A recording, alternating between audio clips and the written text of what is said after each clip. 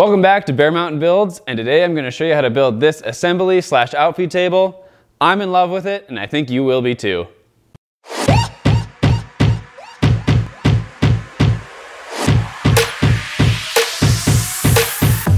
Now, I'm on an unyielding journey towards an awesome shop, so the project I'm gonna do today is gonna fix two problems. One, my assembly space sucks. All I have is this skinny table back there and the floor. Two, that's my table saw back there. It's covered in stuff and it's really hard to get out, so I'd like to make it easier access. So, what I'm gonna be doing is I'm gonna be building an assembly table with my table saw embedded in it. It's gonna be big, it's gonna be strong, and it's gonna be beautiful. Let's get going. I always run my 2x4s through the planer. You don't have to, but it gives a relatively inexpensive board a more finished look.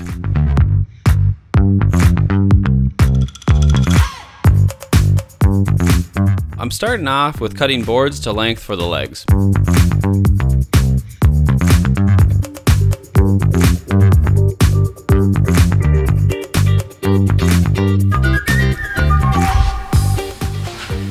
Okay, so I've got all my legs cut to length, now it's time to put them together. I've got a lap joint on either end, and then I'm just gonna glue and screw them on. Let's get going.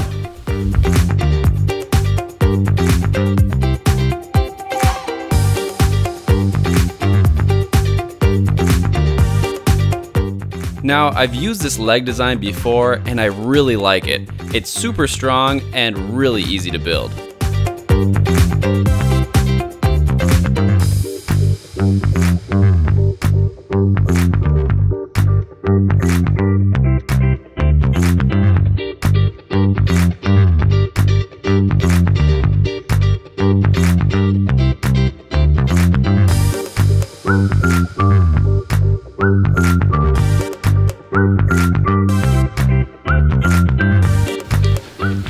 Alright, so it's time to start building the frame. So what I'm going to be doing is I'm going to use my two end legs along with my 8 foot boards, make that square, and then add my two interior legs on top of that. Then I'm going to do the same thing for the other side. Let's get going.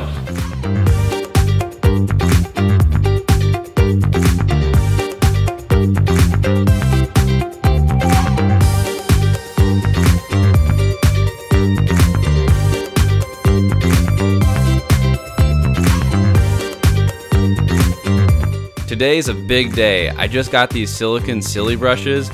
No more will I have to spread glue with my finger or a piece of cardboard.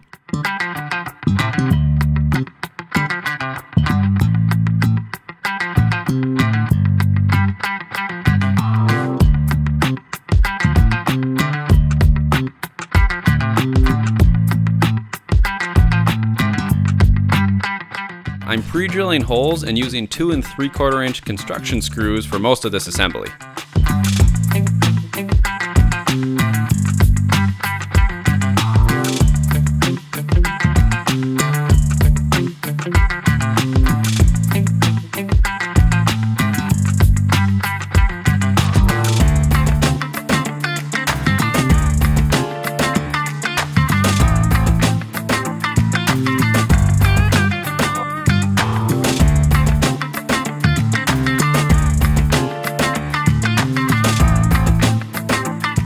Spacing these legs to allow for drawers in the middle and some larger item storage on one end and then space for the table saw on the other.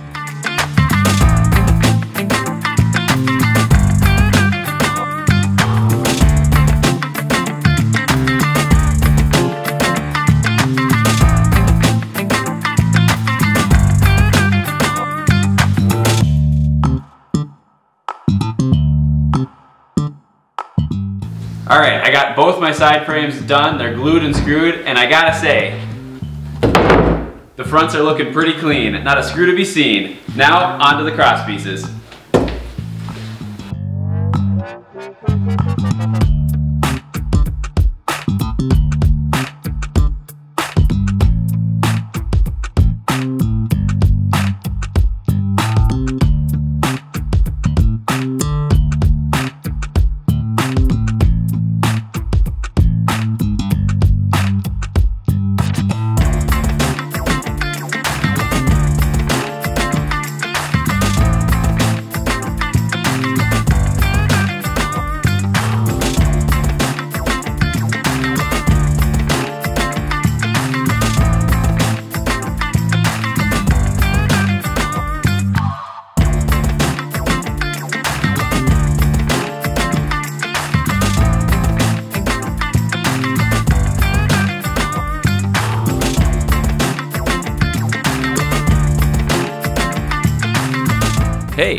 Pro tip, if you don't have a long enough clamp, use a ratchet strap.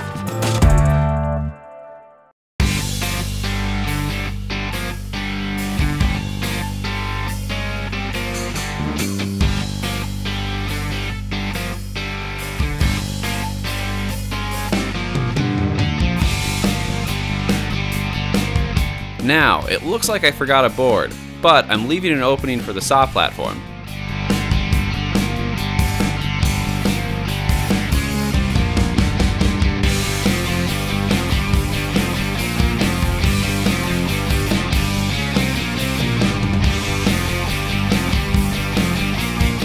I really want my table to be rock solid and flat, so I'm putting in a lot of crossmember supports, and each of these have two to three pocket holes going up to screw into the tabletop.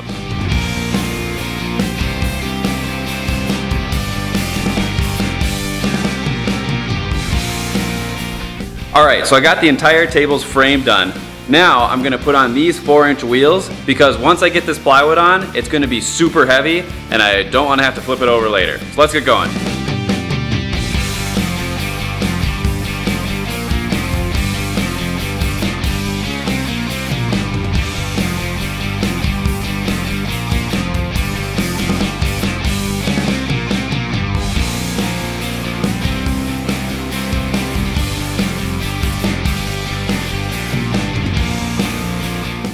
Recommend starting lag bolts with an impact driver, but finish torquing them by hand to make sure you don't tear out the hole.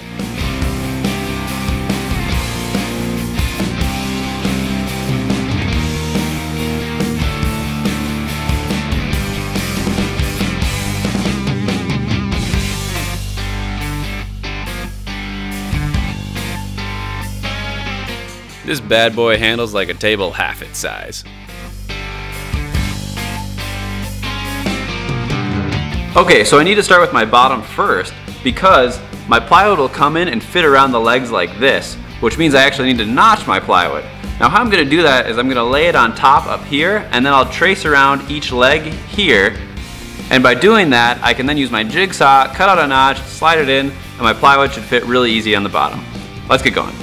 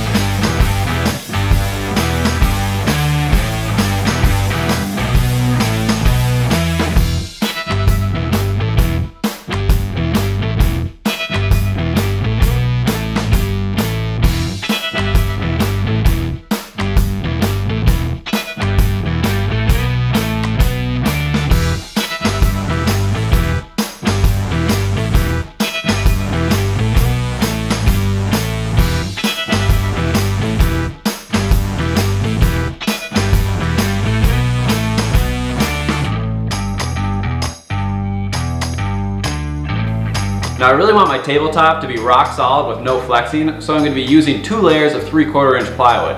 But I also really want my table to look good, so my top layer is going to be a birch veneer plywood. That way it gives it a really nice clean look after I'm done with it. Alright, so I've got my base layer here. I'm going to load this up with glue, and then I'm going to put my top layer on that, and then clamp the heck out of it. Should be pretty easy. I'm gonna bring in a second pair of hands for loading the glue because I got a lot of surface area to cover. Let's get going.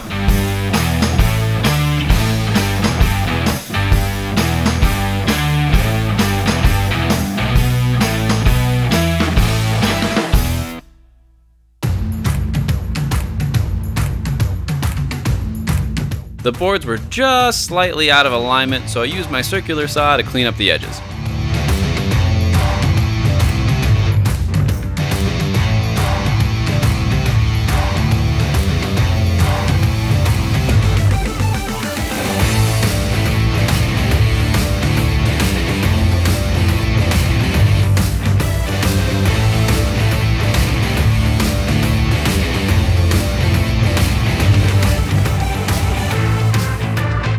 Now there are a lot of pocket screws, but this table is going to be really solid.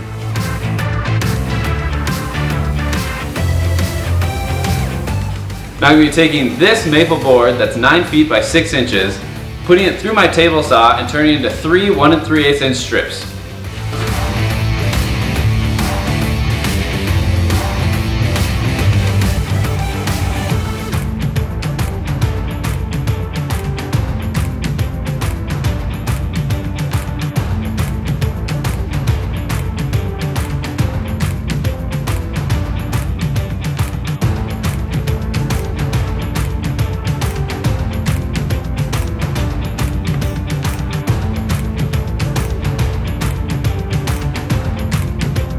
I'm attaching these trim pieces with glue and 1 and 3 quarter inch brad nails.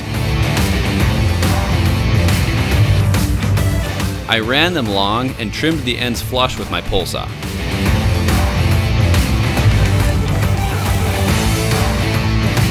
To make things a bit more hand friendly, I broke the edge with a 3 8 inch roundover bit. I did a test slot for the T-Track and I gotta tell ya, I nailed it first try. Now, when you're routing out T-Track, you gotta be pretty precise. And you know the old saying, measure twice, cut once? Well, I'm more of a measure four, maybe five times, cut once kind of guy, so this is right up my alley.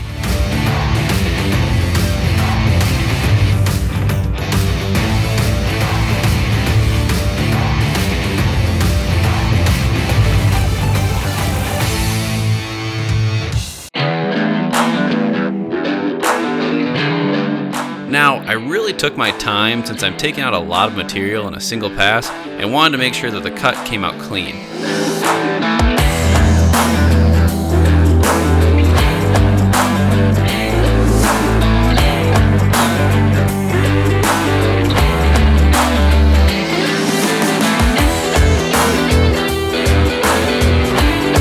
I am wearing a dust mask and eye protection, but dust collection is definitely a major issue in my shop that I'll have to address soon.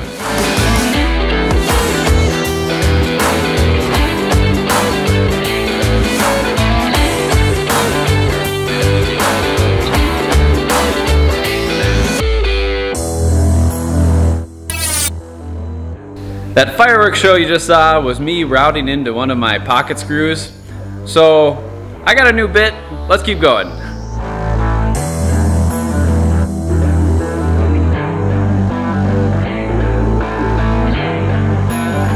I'm rounding out the perimeter of the knockout for the table saw and finishing it off with the jigsaw.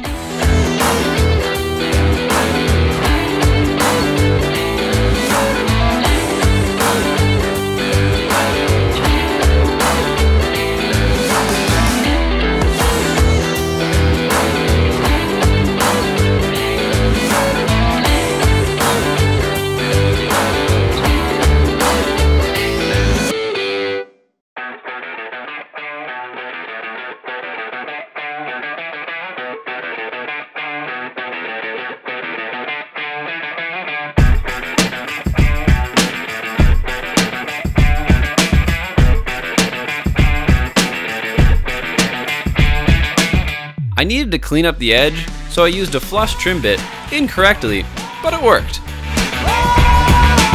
The birch was actually in pretty good shape, so I did a quick sanding with 220 grit to prep for the first coat of poly.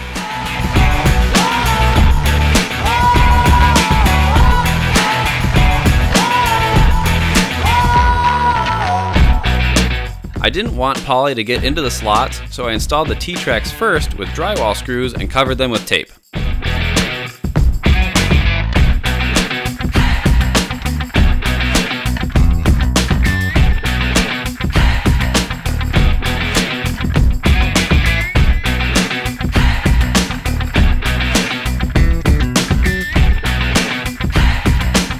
Now, I've got my first coat of poly down, it's sanded and it's looking really good, and I'm gonna be doing a second coat later, but first I'm gonna be putting in my table saw. I'm gonna be doing that by dropping in my platform and then putting my table saw on there and then making it all level with the top. Let's keep going. The saw platform consists of two 5 8 inch pieces of plywood glued together.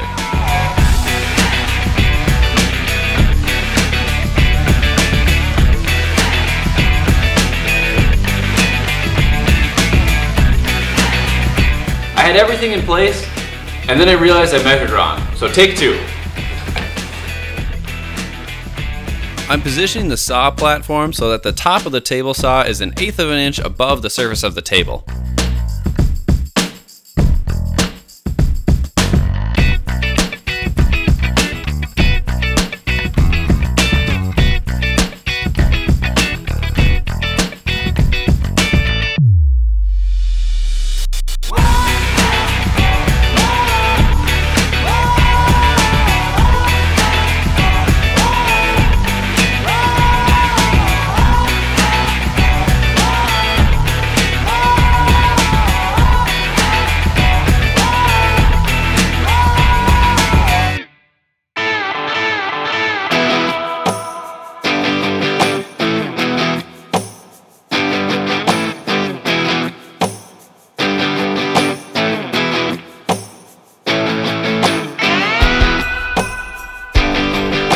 So I'm planning on adding drawers to my table, but this video is getting a little bit long, so I'm going to be doing that in another video, so keep your eyes peeled for that one. Now, applying the first coat of poly took a while by myself, so I brought in another set of hands to help speed up the process on the second coat. It was purely for efficiency reasons.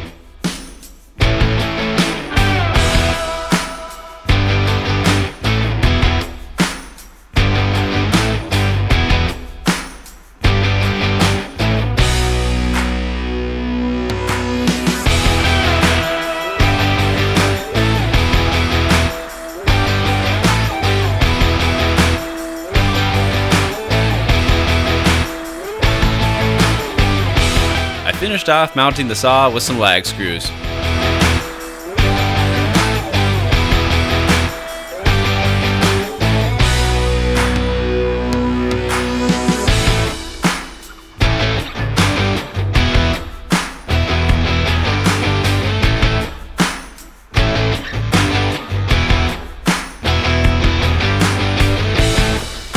With the saw in place, this assembly table is done. Take a look.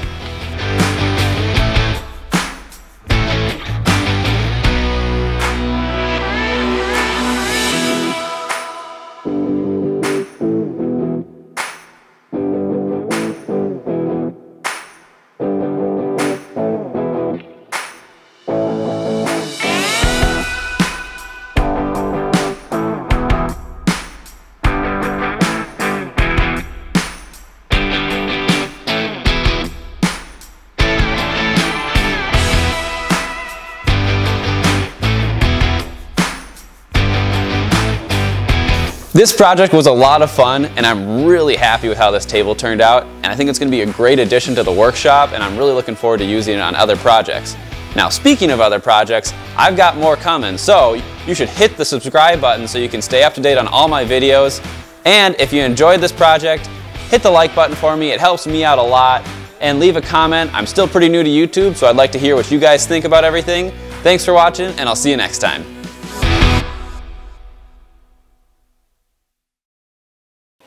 2x4s are really inexpensive, and I can do this. I don't know what I'm saying anyway.